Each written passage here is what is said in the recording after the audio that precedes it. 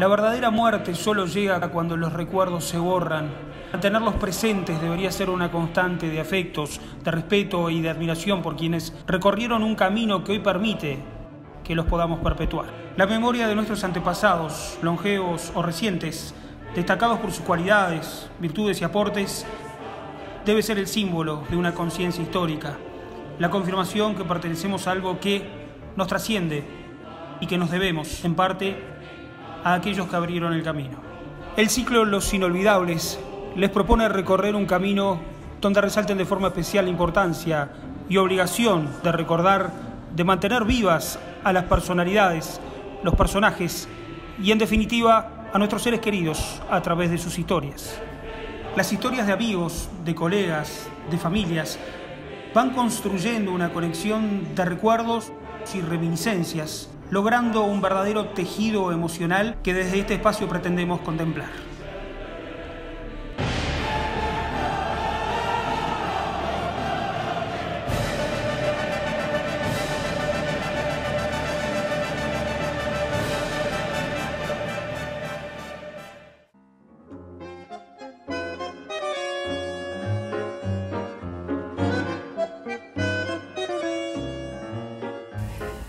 Con Darcy se fue una época.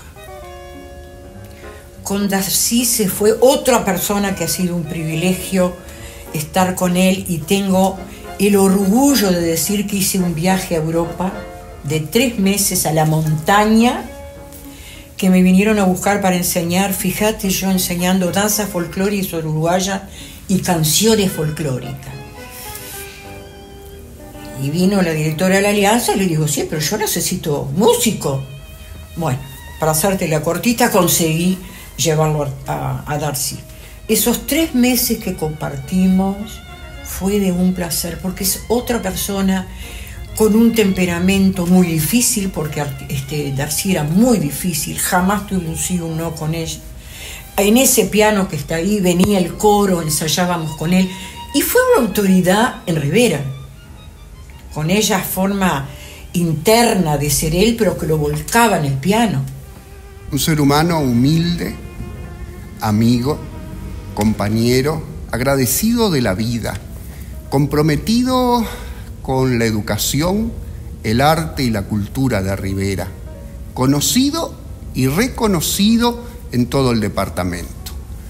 23 años compartiendo coros, zarzuelas, ópera y principalmente el ballet folclórico departamental, eh, donde él se desempeñó por 33 años. Muchos viajes, muchos ensayos, eh, muchos encuentros y siempre encuentros, este, donde pudimos crecer junto a él eh, en muchísimos aspectos. Él no hablaba, por ejemplo, me acuerdo el día que nos despedimos, que fue impresionante porque hasta lagrimió arriba del acordeón. Él no hablaba, pero por ejemplo, si se estaban riendo, él utilizaba el acordeón en un arpegio y participaba en la conversación. Era muy peculiar. Ayudaba siempre a todos, este, buscaba con su cámara fotográfica registrar todos los momentos. Entonces también era el fotógrafo del ballet los viajes. Este, un compañero este, que con el transcurrir de los años pudimos decirle amigo, este, fabuloso. Yo siempre le decía, ay Darcy, si yo hubiera sido una persona de dinero, te juro que te decía, deja de trabajar de todo lo que estás haciendo y andate a estudiar a Montevideo música a otro nivel. Porque era un hombre muy talentoso, muy y muy generoso sumamente generoso con su arte. Tú ibas y, bueno, yo fui a llorarle, mirá, no tengo, no tengo quien me acompañe, tú vas, bueno, no le costó mucho decirme que sí, pero te animás a ir, te animás a acompañarme, sí, cómo Y ahí me ayudaba también, porque como él estaba en el grupo de danza acá en Rivera, me ayudaba en muchísimas cosas. Fue una experiencia impresionante. Alegraba todas las fiestas sociales que ocurrían en nuestra ciudad pero también este, como ese músico que mm, le daba emoción a las ceremonias religiosas, a los casamientos en, la iglesia católica aquí en Rivera.